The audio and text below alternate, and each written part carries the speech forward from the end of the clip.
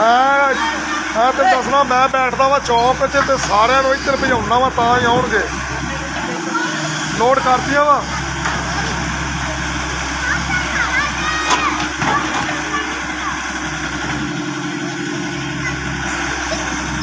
ਵਾਲਾ ਵਾਲਾ